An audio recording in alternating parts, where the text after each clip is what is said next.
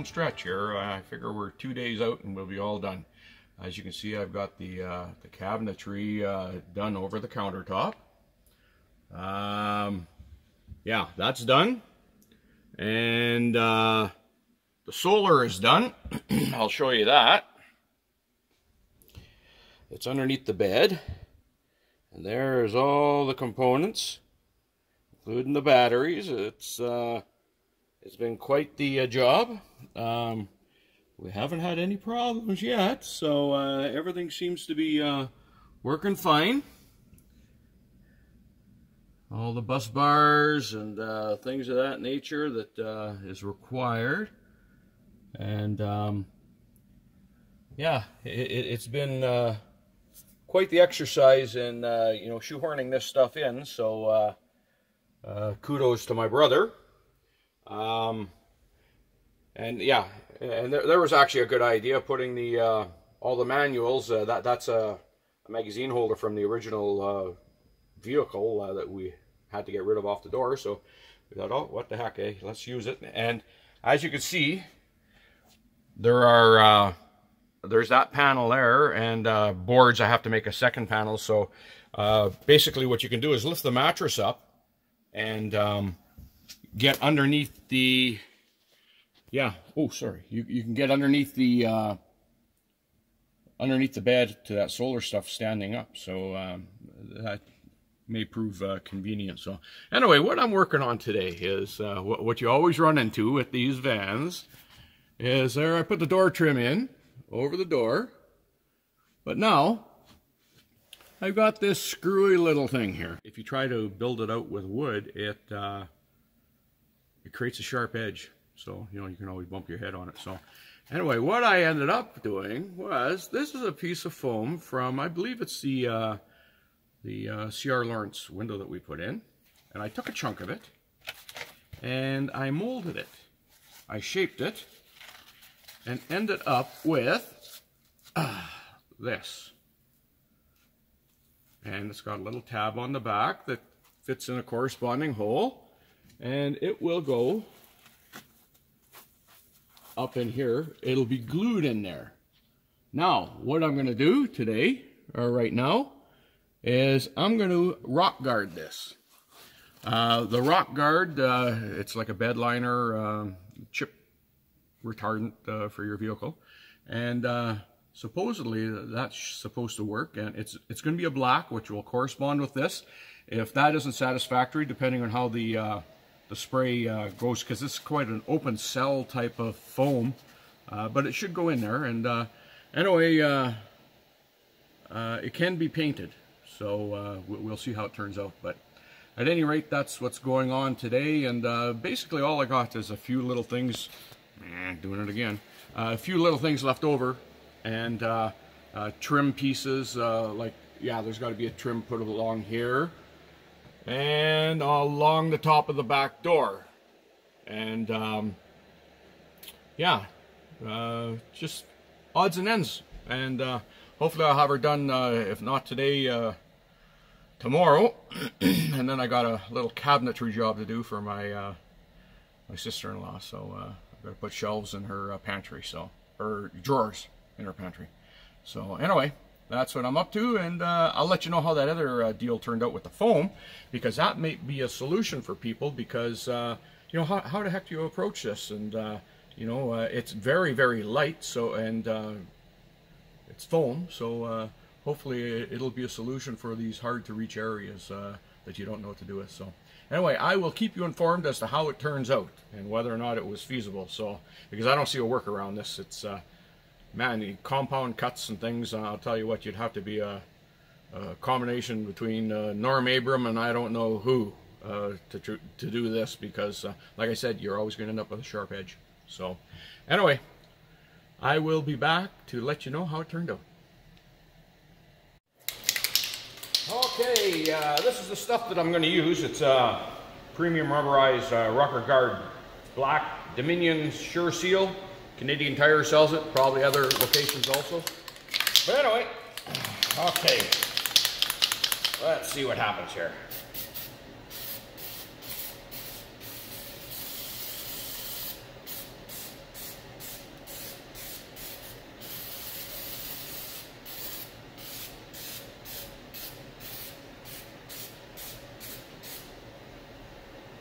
Yeah, not the prettiest, but um,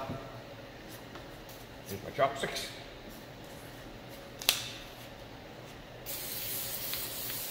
And then they take a couple coats because it actually, um, it's like it bubbles. It, uh, I don't know what the heck it's doing, but, uh, oh, oh gosh. And the beauty of it is, yeah, I don't know why I'm being so delicate because uh, this stuff is uh, pretty robust. So it's not like you're getting a, a perfect finish on it. Eh? So yeah, because it comes out uh, pebbled or yeah, the finish. Anyway, I may have to give this, like I said, a few shots. And uh, actually, what I'm going to use this for also is uh, we've got a drawer in the bottom of, um, yeah, we got a drawer in the bottom of uh, the couch that um, I'm going to take this stuff and spray inside because it's going to be a boot uh, drawer.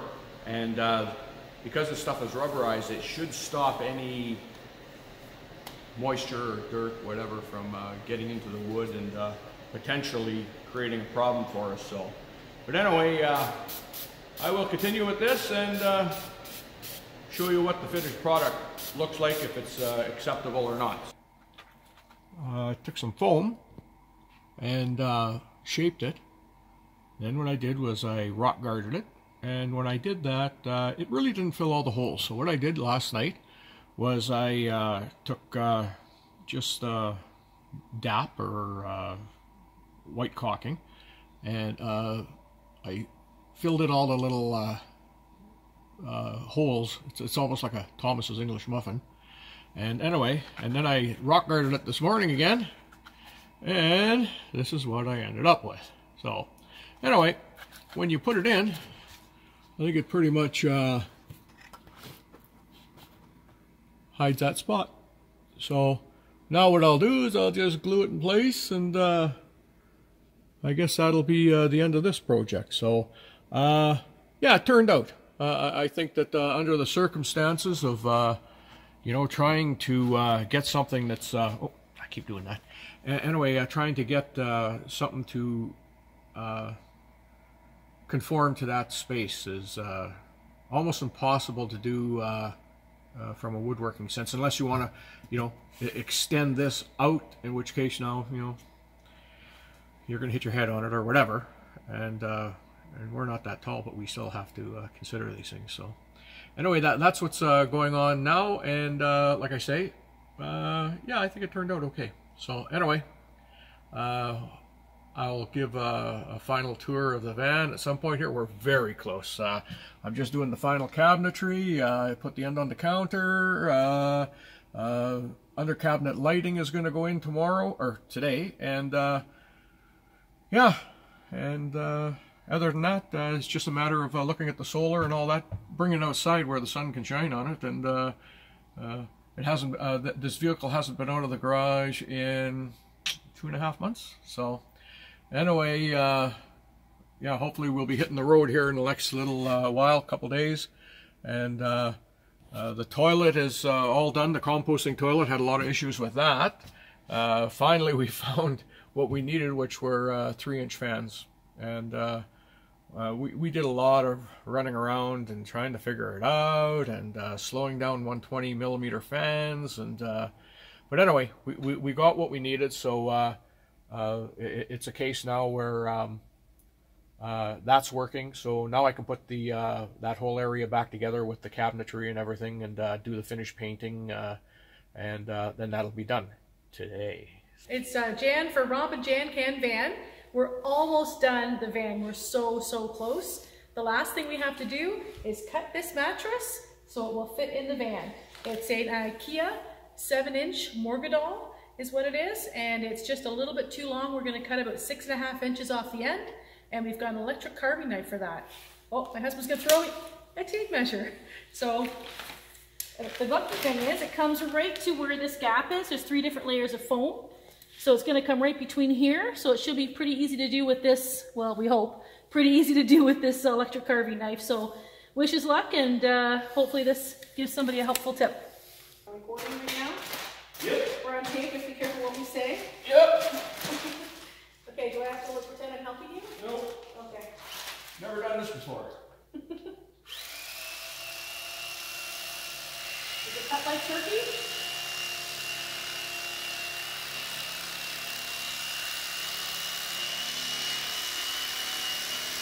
Looks like it's working pretty good.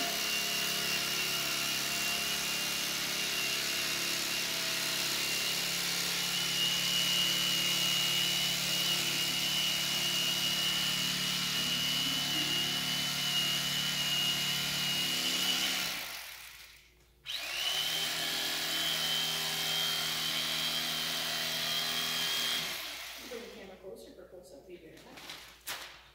There you are. Would you like a thigh or a breast?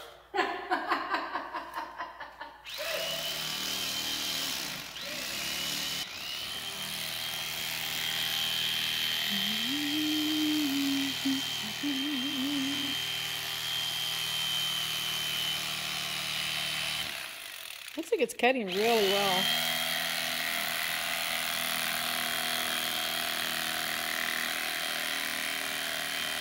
I like the neon green layer at the bottom.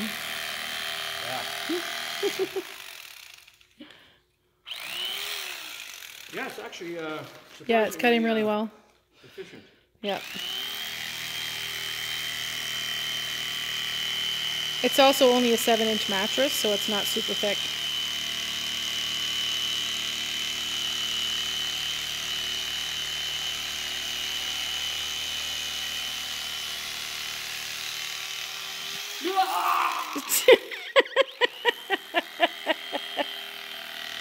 Gooseball.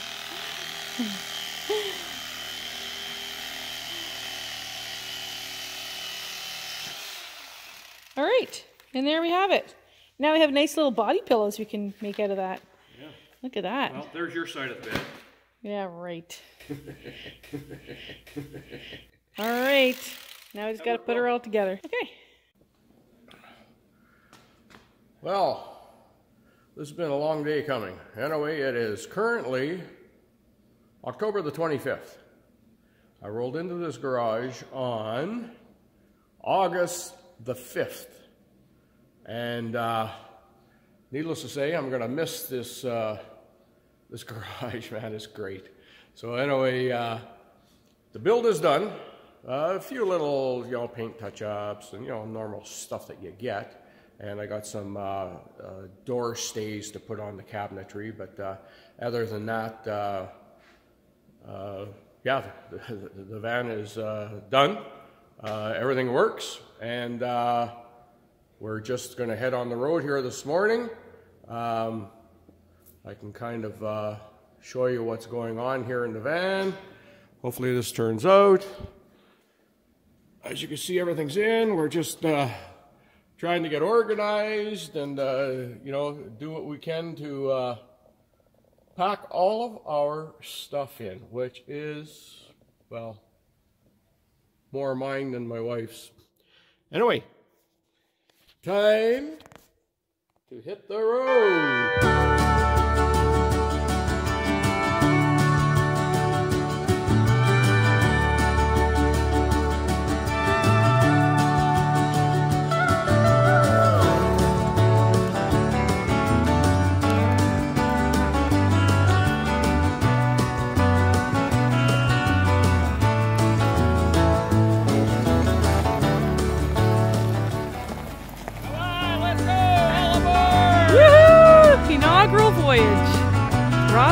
Aboard!